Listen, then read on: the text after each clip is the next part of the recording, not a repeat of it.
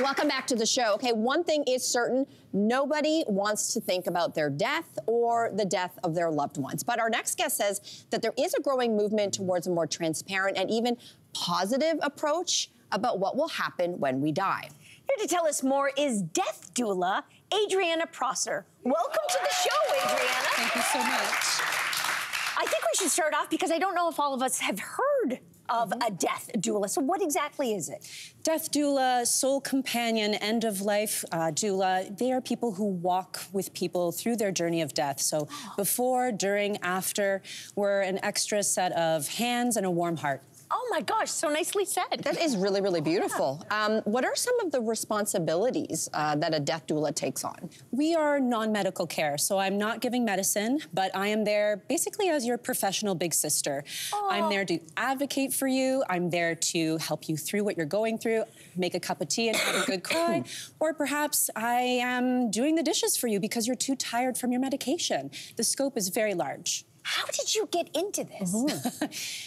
sad story. Oh. Uh, it starts with the death of my brother in 2010, and his death was a suicide loss. So it shattered my world, mm-hmm. and it opened me up to sharing my story of grief. And when I shared my story of grief, other people gave me their story, and I became a safe space for talking about death, dying, and grief. So much so that years later, my friend from work calls me up and says, "What are you doing?" And I'm like, mm, "Life," and she's like, "Yeah, about that. I'm facing death." Death, and we're going to Disneyland. Wow. so she had uh, stage four breast cancer, and uh, she had finished chemo, and she didn't want to sit around and wait for death. So she asked me to companion her to Disneyland and South Korea, and I was just so honored to be there for her. Uh, that when I came back and I talked to my therapist, everyone needs one of those. Mm-hmm. Uh, she was like, "Have you heard of the term death doula?" And I was like, "No." And she's like, "I think you are one." And wow. sure enough, yeah, I've been doing it for a decade. Unbelievable story. Absolutely incredible. So, I mean, Disneyland, South Korea, that's amazing. But what are some of the more, even more interesting requests that you've received? Well, I've had a couple clients that, because they're so close to the end of life, that it's very difficult for them to be mobile. One of them had a bucket list wish to see the stars one last time. Oh and to just try Man. to get them out of their bed to go and see them with the light pollution in Toronto. That was a bit of a challenge. Um, another one, I hand wrote the notes of them dictating to me special things that they wanted to say for weddings and birthdays that they weren't going to see for their grandchildren. Um, it's very interesting. I get a lot of one off phone call support for people who are weirded out by seeing their dead loved ones in their dreams, and it's completely natural. Wow. So, a lot of uh, validation and support through mm. very different stages of death. Oh my God, I'm so impressed by what you do. Mm-hmm. uh, listen, dying can be very expensive. The mm. average funeral uh, bill is between $5,000 and $10,000. A plot in some of Canada's biggest cities alone can cost tens of thousands of dollars. And most people, I suspect, are making these kinds of decisions decisions with grief, mm. under duress. Is, is that accurate? When my friend, uh, she was going through her father's death, she said it was like planning a wedding in seven days with the weight of an elephant of grief on her. So it can be very difficult. And that's why I think the death positivity movement is not so much about yay death, it's about having those conversations of transparency and authenticity so that we can have the death and the funeral that we want that aligns with our values and maybe our wallet too. Yeah.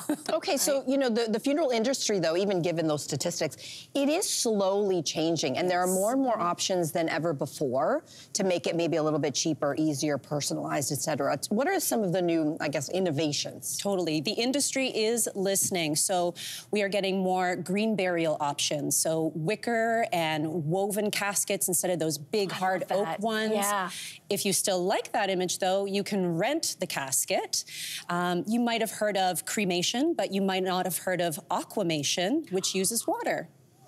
Yeah. Sorry, what? Whoa. What do you mean? What do you mean? that you use water and a whole bunch of science that I'm not going to get into instead of a fire for your cremains. And then don't forget about your cremains. There are so many different options these days. Instead of just an urn, you can be pressed into a diamond into a coral reef. Can you my personal favorite, yeah. I'm going to be pressed into a vinyl record so that my family can listen that to me. That is so beautiful. My that is God.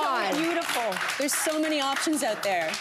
Oh my gosh. I am floored. I am floored. great. It has changed. You're absolutely right. Wow. Listen, what are some of the, the most important things that you encourage everyone to consider as they, not just as they near their end of their lives, but for us now? I think exactly this. We start to talk, Talk. and plan so that we can get all of the logistics out of the way so that when our loved one is dying, we can be present with them and not worry about all of those logistics. So there's a fantastic free resource from the Government of Canada. It's called the Advanced Care Planning Kit. They will mail it to you or you can do it online. And if that seems a little too formal, there's a board game called the Death Deck and it's a prompt of talking about different wishes and legacies to help you have those conversations with your open family. it up. Yeah. Oh my gosh. Is this our new games night? yeah. Do it. I'm serious. Maybe. Unreal. Okay, so finally, uh, you know someone who is grieving um, the death of a loved one or family member. How can we best help them? Great question. I think the thing that we all get hung up on and we need to let go is saying the right thing. There is no such thing. It's about meeting them where they're at. That is a, a piece that came from my training.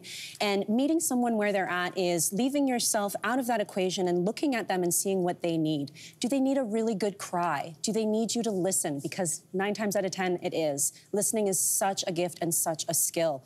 And as well, grief can be really isolating. And so making sure that they know that they have that community and that support, and you bring that village to them. Bring a comforting movie, uh, build them a blanket fort, let them be ugly, let them have that Yeah. space to metabolize their feels, let them wail and cry and process that grief. And as well, storytelling really helped with me.